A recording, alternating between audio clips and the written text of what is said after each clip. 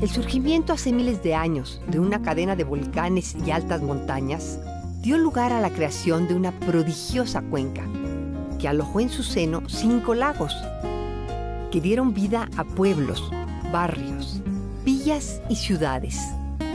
Al paso de los siglos han ido conformando la Ciudad de México, una de las más grandes, complejas y bellas del mundo. Esto es Crónicas y Relatos de México.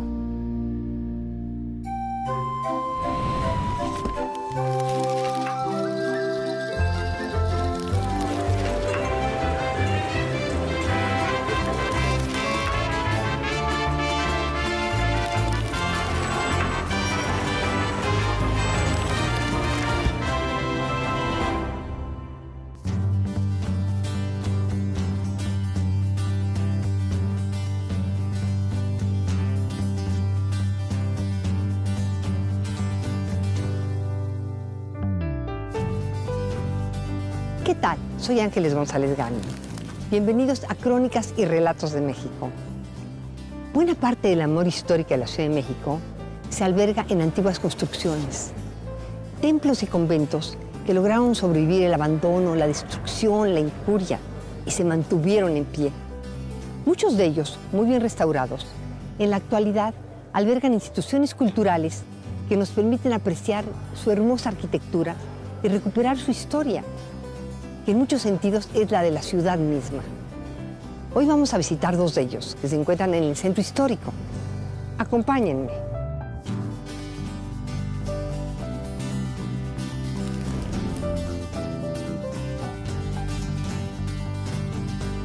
Con Hernán Cortés vinieron algunos franciscanos que al poco tiempo fueron seguidos por un grupo más numeroso para fundar el primer convento que se levantó en la Nueva España, muy cerca de la Plaza Mayor.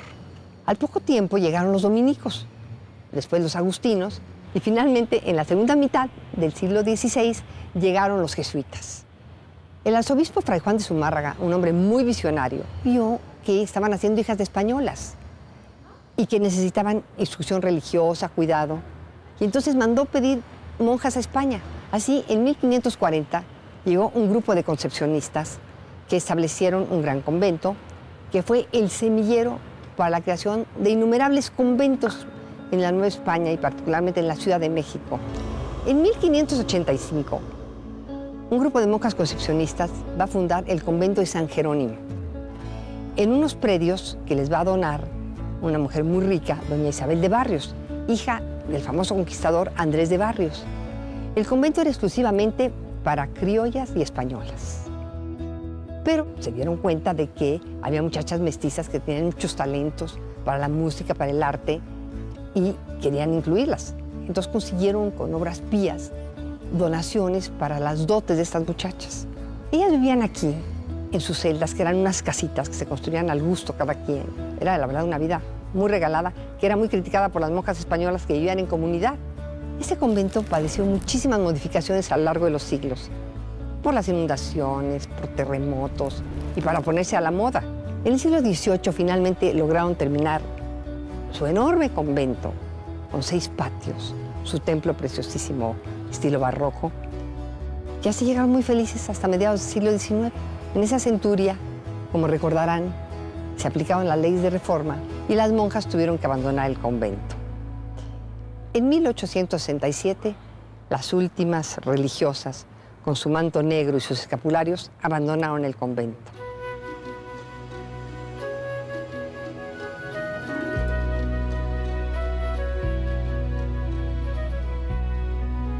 Al quedar vacío, el convento comenzó a ser fraccionado y dedicado a una multitud de usos. Bueno, se estableció aquí en una parte una lechería, en otra un hotelillo junto al templo, una parte fue vecindad, Aquí estuvo un tiempo la Liga de Escritores y Artistas Revolucionarios, la famosa LEAR. En este patio hermosísimo se instaló un salón de baile, que bueno, fue de lo más popular, el Smyrna Dancing Club. Se clausuró en 1957. En los años 70, el historiador Francisco de la Maza y la escritora Margarita López Portillo convencieron al presidente Luis Echeverría de que lo expropiara y se restaurara para dedicarlo a fines culturales. El arquitecto Manuel Sánchez Antoveña, quien llevó a cabo la remodelación, por supuesto apoyado por todo un grupo de especialistas del Instituto Nacional de Antropología e Historia, cuenta que el gran claustro este principal, que es enorme, que está basado en las proporciones heptagonales, fíjense qué interesante. Él dice que no ha visto otro caso así y que seguramente había un simbolismo en ello, porque como recordamos el 7 en todas las culturas ha tenido un gran significado. Y bueno, se llevó a cabo esta notable restauración y en otro espacio les voy a platicar qué sucedió cuando se establece aquí la Universidad del Claustro de Sor Juana. Acompáñenme.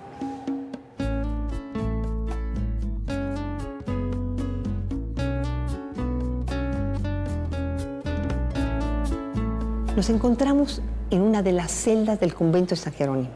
Se recuperaron muchísimos espacios y construcciones de la época, entre otras un fogón muy bonito decorado con pinturas, hay pinturas en las paredes, hay una tina.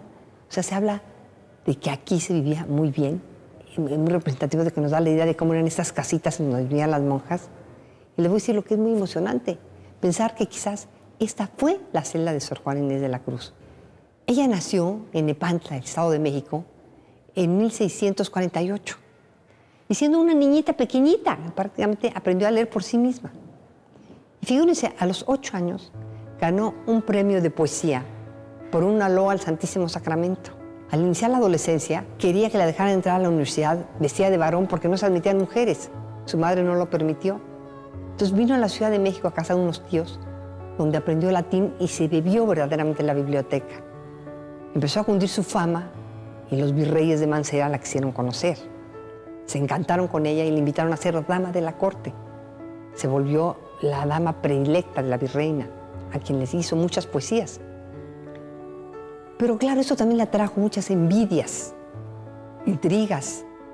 Su confesor Antonio Núñez de Miranda la convenció de que ingresara a un convento donde iba a poder tener el tiempo y el espacio para realmente dedicarse a su obra y así ingresó a este convento de San Jerónimo, donde habría de permanecer hasta su muerte. Aquí realizó la mayor parte de su obra, que fue vastísima, todos los géneros que se puedan imaginar, incluyendo obras de teatro. Pero hubo algunas obras que fueron polémicas. Una de ellas le causó graves problemas, que fue la famosa Carta Atenagórica. En ella la tesis fundamental es que la mayor gracia de Cristo fue darle al hombre la libertad. Y esto le causó tremendos conflictos con la iglesia. Ella falleció aquí, el año de 1695, contagiada por una terrible epidemia de peste que invadió el convento. Murieron muchas de las religiosas y ella cuidándolas se enfermó también. Aquí se conservan sus restos. Seguimos en Crónicas y Relatos de México.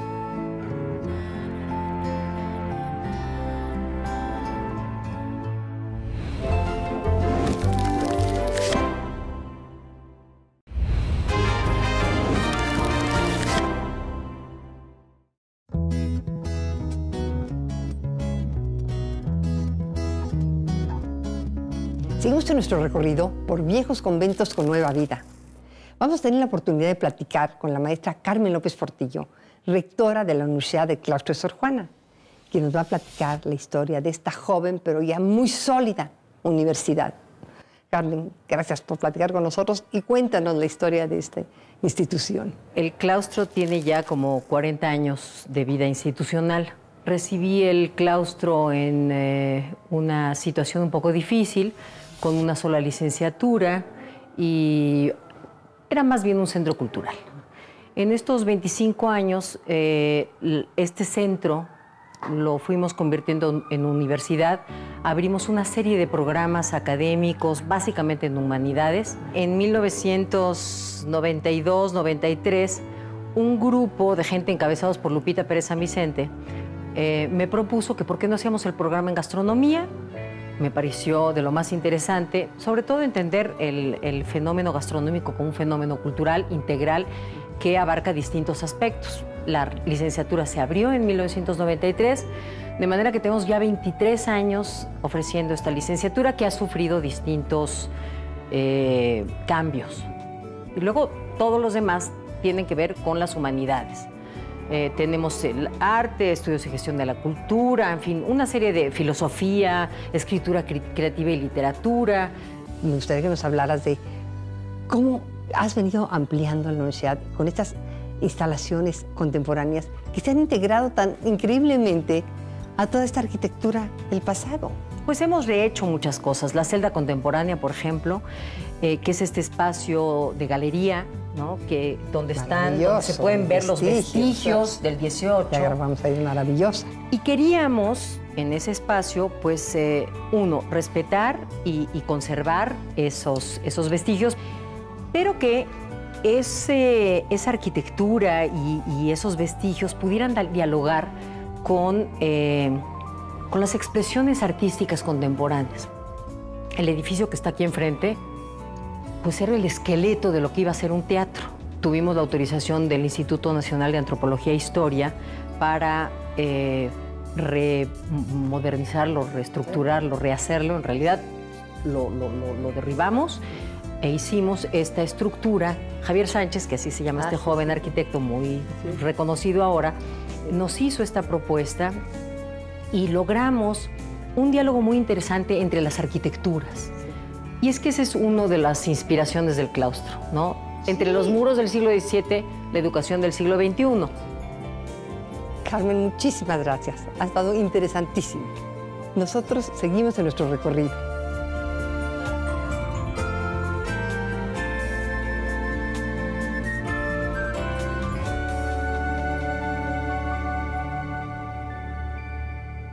En el extremo oriente del claustro de Sor Juana hay un espacio no muy grande que custodia un verdadero tesoro, que es la colección de indumentaria mexicana de Luis Márquez Romay.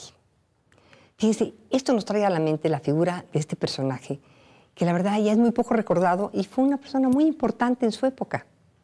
Estamos hablando de los años 20. Él nació justamente el año que terminaba el siglo XIX. 1899. Hijo de un cubano y una mexicana, eh, estuvo en Cuba en su juventud, donde descubrió la fotografía, y llega a México en un año que fue fundamental, 1921, que era cuando Vasconcelos encabezaba ese movimiento nacionalista que recogía esas ideas de la revolución acerca de la recuperación por el orgullo indígena, por las raíces prehispánicas, todo eso que se va a plasmar en todos los aspectos del arte. Él se va a integrar a la Secretaría de Educación Pública con José Vasconcelos y va a coordinar diversos proyectos, a la par que lleva a cabo su proyecto personal como fotógrafo. Se apasiona como todos los de su época, ¿no? Él era amigo de todos los fotógrafos importantes en ese momento. Era un hombre de verdad muy interesante porque aparte fíjese que trabajó en el cine mudo y también hizo guiones. Él fue el que realizó el de la película Janitzio hizo un viaje en los días de muertos para inspirarse para el guion de la película donde hizo su debut el entonces joven Indio Fernández. Y estando ahí, vio cómo llegaban todas estas mujeres de todas las etnias de los alrededores con sus atuendos típicos, esos trajes primorosos. Y bueno, enloqueció y dijo, no, esto es una maravilla, tengo que, que tener esto. Y a partir de ese momento empezó a recorrer el país eh, buscando las mejores ejemplares de ese tipo de vestimenta, sobre todo los estaban hechos con métodos antiguos, y fue conformando una colección impresionante de alrededor de 4.000 prendas. Con ellas hacía desfiles eh, de los trajes típicos, y había también bailes folclóricos, en fin, le dio mucha difusión en su momento. Pero tuvo, fíjense, nada más el acierto que un año antes de su muerte, ya de haber pensado, ¿qué voy a hacer con esta colección de 4.000 piezas? Se la donó al claustro de Sor Juana.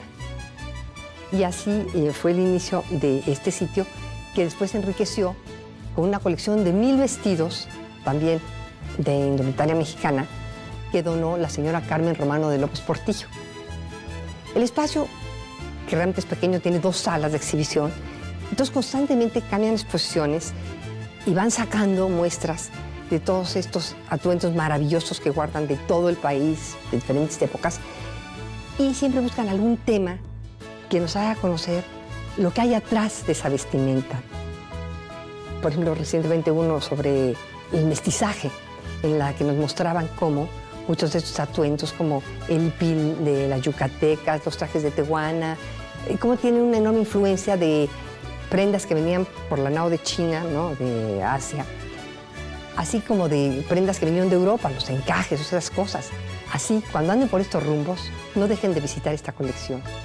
Es de verdad deliciosa, les va a enriquecer el alma. Seguimos en Crónicas y Relatos de México.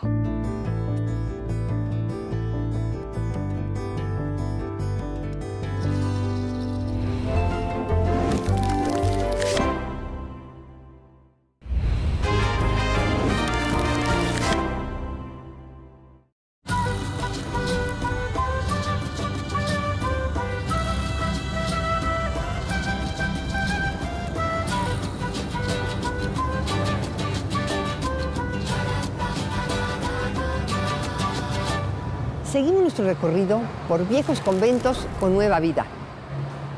Este lindísimo patio perteneció al convento de Montserrat. Lo fundaron a fines del siglo XVI Diego Jiménez y Fernando Moreno, quienes vinieron en la conquista con Cortés y amasaron una gran fortuna. Ya viejos, yo creo que decidieron darse un empujoncito al cielo fundando un convento. Uno de ellos, de origen catalán, quiso que se dedicara a la Virgen de Montserrat, patrona de Cataluña. Se lo entregaron a la Orden de los Agustinos, quienes lo administraron hasta el año de 1614, cuando llegaron los frailes benedictinos, a quienes se lo entregaron para que establecieran un convento escuela. Les enseñaron, por supuesto, religión, a leer, escribir, pero también música y canto, y a copiar manuscritos antiguos lo cual hizo que se formara aquí una gran biblioteca. Pero también les enseñaron el cultivo de la tierra. Se dice que aquí se aclimataron varias especies que llegaron del viejo continente, entre otras la ciruela española. En 1821 el convento fue abandonado y se dedicó a diversos usos. Se dedicó a cuartel, fue sede de la Federación Socialista de Trabajadores y finalmente vecindad. En 1931 se le declaró monumento colonial, lo cual no lo salvó del deterioro. Cuando se abrió la avenida Izazaga, donde ahora nos encontramos, se le mutiló una parte al convento. Afortunadamente, en 1970 se le dio a la Federación Mexicana de Charrería, que decidió establecer aquí un museo. Los invito a que vayamos al interior para conocerlo.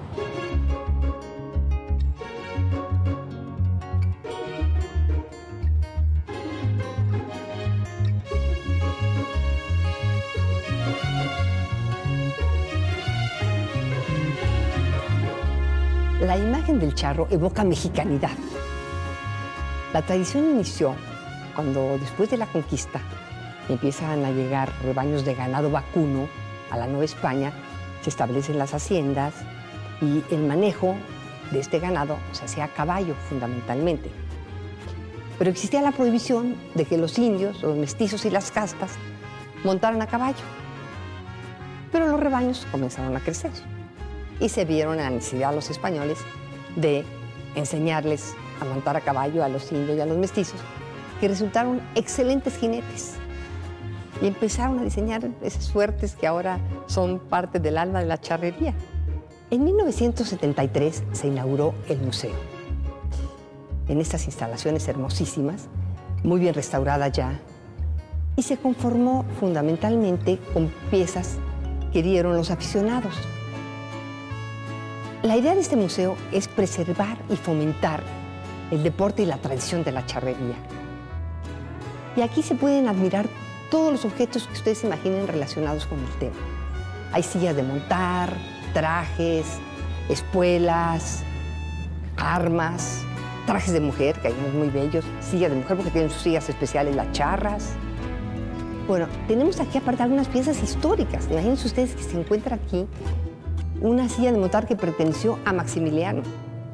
Hay de cuatro generales, de Gonzalo N. Santos, del general Miramón, de Pancho Villa, que también está su revólver, y del terrible Leonardo Márquez, conocido como el Tigre de Tacubaya. Bueno, esta silla de este personaje nefasto es la más elegante que tiene el museo, porque fíjense ustedes que está toda con pita y con canutillo de oro y plata y todo el herraje de plata. Esas sillas de los generales tienen en la cabeza labrada un águila, hermosísima, porque era un privilegio que solamente tenían los generales. Aquí también podemos admirar un traje de charro negro elegantísimo, que fue el que usó Jorge Negrete cuando se casó con María Félix, todo con su botonadura de plata. O sea, imagínense todos los tesoros que hay aquí. Pero además se puede admirar la arquitectura, que es una belleza. El museo ocupa básicamente lo que era el antiguo templo del convento de Montserrat y el patio ese precioso que ya vimos. Y ahora me van a acompañar a conocer otro espacio primoroso.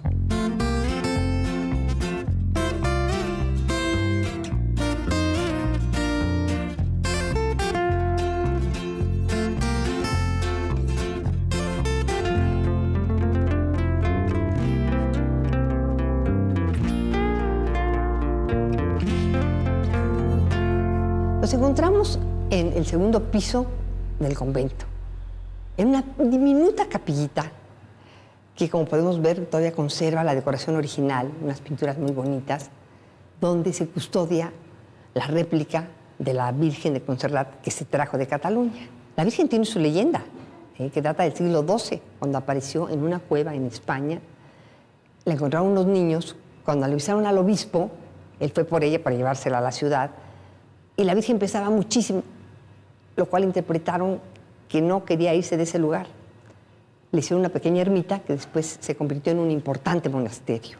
Las guerras y las invasiones que padeció España a lo largo de los siglos hicieron que la removieran de ese lugar en varias ocasiones del monasterio.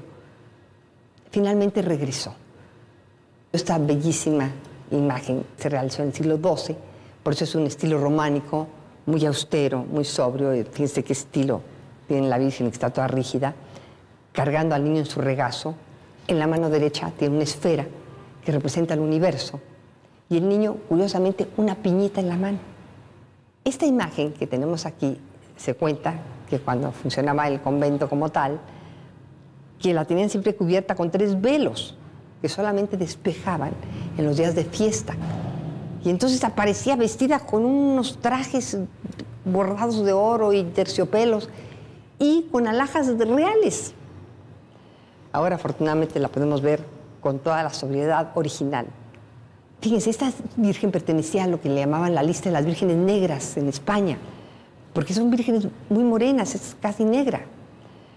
Otra que está en la lista es la Virgen de Guadalupe de España, porque hay una ciudad que lleva ese nombre y pues seguramente es hermana de la nuestra del Tepeyac. Pues estos son varios de los tesoros que resguarda este lugar que no deben dejar de visitar cuando vengan por el centro histórico de la Ciudad de México.